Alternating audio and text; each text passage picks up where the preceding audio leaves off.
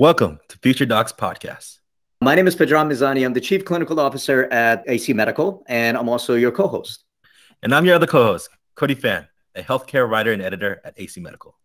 Today's topic begin prepping for the 2022 main match through 2021 SOAP.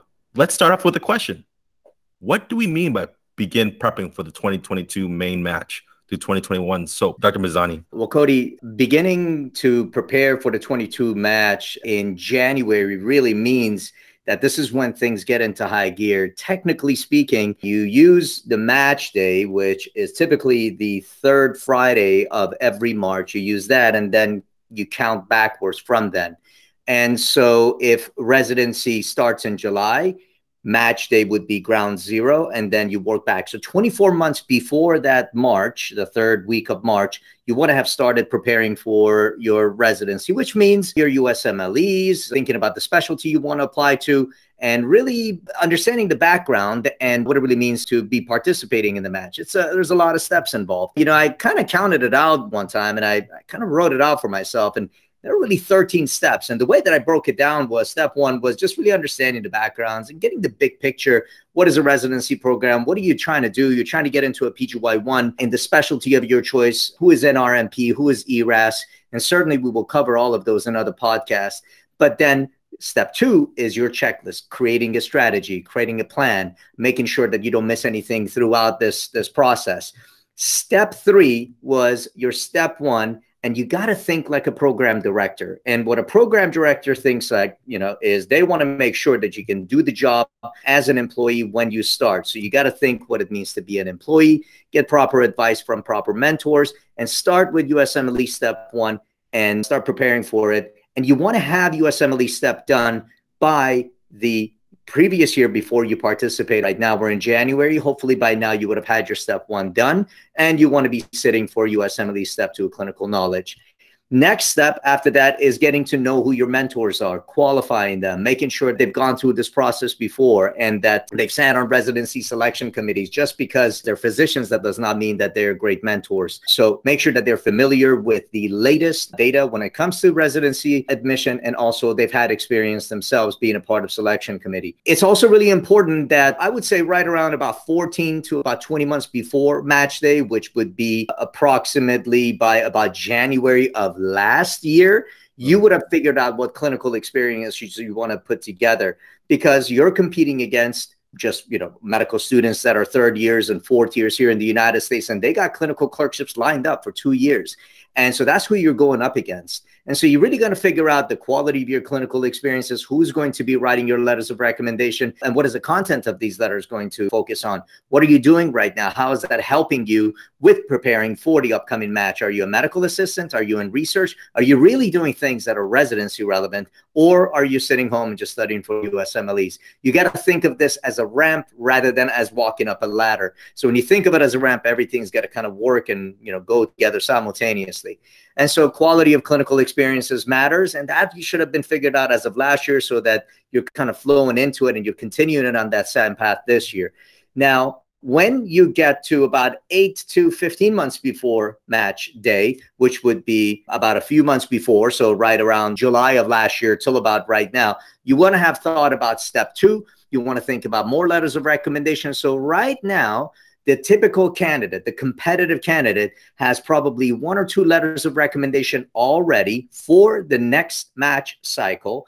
They probably have already completed about four to five months of clinical clerkships, and they're getting into the second half of their third year of medical school. So they've got a good foundation of clinical experiences, and that's who you're going up against. And then they're thinking about their step two they're thinking about their step two. They're studying for their step two as they're doing their clinical rotation. So that's step six. Now, step seven, you have to figure out, you know, what is your timeline and tokens. Everybody, if you're an international medical graduate, you have to get your token from ERAS, that is your dean's office. If you're a US grad, you have to get it from your dean's office, and so on. So you got to get your token. Token is what you use in order to register with ERAS, and that is the permission of your dean's office to participate and apply to residency through ERAS. So that's when you get your timelines. Typically, we'll have our timelines by right around May of every year. We'll know what the timelines are for the following match cycle.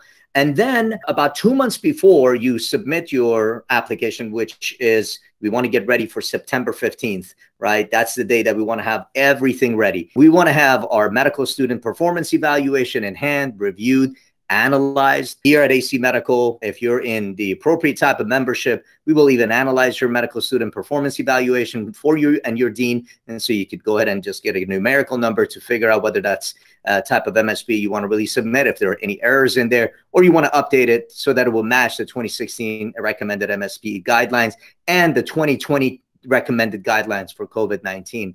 And your letters of recommendation should also be analyzed. That's another part of preparing for the 2022 match. And LOR analysis and MSP analysis, again, we do provide that for our members, but a lot of people just waive the rights and they don't see those letters of recommendation. I don't recommend that. Unless you're a US medical student, you're a US medical senior who's never had any problems in medical school, doing really well in your clinical clerkships, then fine, you can waive your right to see them. But everybody else, especially our international medical graduates, especially those with you know, kind of questionable activities where you may have really been kind of working like a doctor, but not really getting paid or didn't have a license to do it. And then the letter writer reconfirms everything. And then, you know, somebody at a state medical board gets a hold of that document, but you really need to see it. Whether that happened or not, you still need to see this document just so that at least you can help the letter writer understand look you know i don't know if what you said here is true or maybe you committed me to too much. We need to kind of talk about this. Or maybe they misspelled your name or just put the wrong things in there. And so you want to really understand what what others are saying about you. But typically us seniors don't have those problems.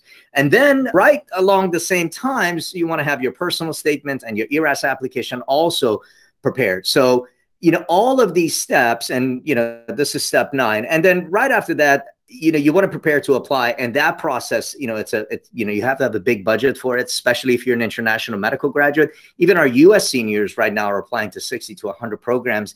That in itself could be three to four thousand dollars depending on how you're budgeting and how you know how many specialties you're applying to. So you got to plan for that and you got to budget for that earlier. And if you are a medical student from abroad or international medical graduate you got to look at state licensure requirements as well because if your medical school is not approved in that particular state then maybe you should not be applying to that state and certainly some of those states are maybe like new york and even puerto rico pennsylvania and there's a there's a lot more states there that different they have different uh, policies. But that's some of the things that you got to prepare for. And then you want to certify and send your application. And you never want to certify your application until all of these steps are done. So that's preparing for the 2022 match. That was a very detailed 13 step by step process. Of course, as you mentioned, we will be going more in depth as the timeline goes along. Now, I kind of want to pivot off of this by asking in regards to what about those who have yet to allocate the time following your timeline? So, what could they do if they're looking to apply to SOAP right now? Or how could they use SOAP as a learning experience to grow into the 2022 main match if they're not doing it by your 24 month timeline? If you're thinking about participating in the 2021 SOAP or any SOAP, depending on when you're hearing this, if you're thinking about participating in SOAP, you have to first find out if you're SOAP eligible. You go to NRMP's website and, and you can read up on SOAP eligibility. And if you are SOAP eligible, then certainly you can participate in that SOAP. However, if you think about the steps that I just mentioned, continuing with your clinical experiences is critical for next match cycle. Clinical experience is also critical for supplemental offer and acceptance program because it shows that you're filling in gaps. It can allow you to go ahead and upload new letters of recommendation and reaffirms your commitment to the specialty that you were applying to or to a backup specialty in case the original specialty you apply to. They don't really have that many unfilled programs when when SOAP comes around. So that's how you can kind of overlap in in preparation. Okay. So then my question would then be for our future docs listening, they could reuse a lot of their SOAP application or tinker it as they need for the upcoming cycle thereafter. Is that something that you suggest? That includes LORs, personal statements, supporting documents. How do those come into play?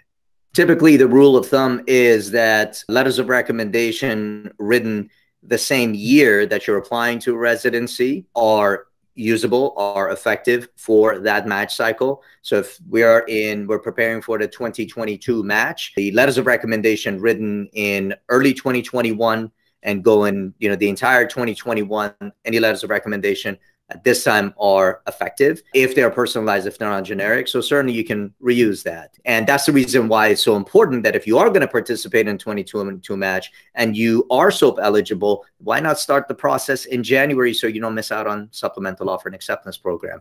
And that means that you're going to get a head start on your personal statement. These are tough documents to write. There's a lot of soul searching that you have to do in order to get these documents going. Get it started right now. And if you're fortunate enough to hear from some of the programs or just being in the process, learning from from us, learning from other AC Medical members, talking to people online, you'll you'll get to gauge the quality of your competition and and how competitive you are, and then you can make adjustments. You much rather do it now than during the main match. I certainly agree with that. In my time here working with AC Medical members, when you ask them why medicine, why this specialty, it's kind of harder for them to do the soul searching beyond the answer of I want to help others. Mm-hmm. Evidently, everyone wants to help others. The reason, the reasoning behind why is what's very important. That's right. Now, I want to go ahead and ask. So, since you've already covered suggestions for SOAP as well as through Main Match 2022, let's say our future doc has applied through SOAP. They've garnered all the clinical rotations they needed, LORs. What should their next step be right after SOAP is done or match day? And assuming that they did not match. Assuming that they did not match, correct. As soon as that happens, then you immediately need to get yourself into clinical rotations because the most number of months you could have possibly completed before match would have been two months in you know in the united states because if you start in january and february you're probably taking march off just so that you can focus on you know the match. And then so in april or end of march you want to be right back into clinicals because you want to get your four months possibly five months depending on the quality of your letters of recommendation you want to get that out of the way before the end of may. Because once june and july hits everybody who procrastinated and did not listen to this podcast or didn't take us seriously they're going to want to go ahead and do their clinicals in June, July, August. And the problem at that point is, well, they clinical sites get pretty overwhelmed because not only are our residency candidates going in, but it's also the July effect. And July effect is when new residents start. When new residents start, that's when the seasoned residents leave and that transition is pretty traumatic for residency programs so you got individuals applying to residency wanting to do clinicals. There's limitations because of the pandemic and and what clinical sites are available. Everybody wants letters of recommendation and new residents are starting seasons ones are leaving. And god forbid one of these clinical sites closes which as we saw about half of the clinical sites just became unavailable during the pandemic.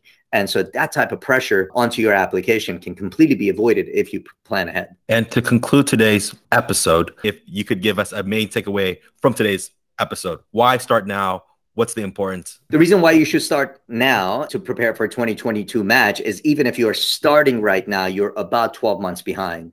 You should really have started in preparing for the 2022 match in 2020 because by September of 2021, you should have your complete application package ready. That means all your clinicals, USMLEs, CS, hopefully CS is going to start again, CK, all of those have to be done. Five months of clinical experiences, four solid letters of recommendation, your MSPE completed.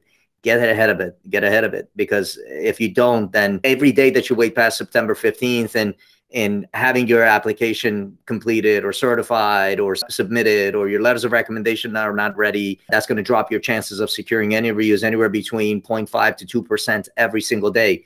So we assume that in 2022 match, we're going to get back to normal schedule, which is September 15th of application submission start date. And so there's a lot that goes on, a lot of things that need to happen. So get ahead of it. That concludes this week's episode in Future Doc's third podcast. Yeah. Thank you for your time, Dr. Mizani. And thank you for your time, Cody. And thank you for all the listeners. We'll see you in the next episode. Thank you. Bye bye.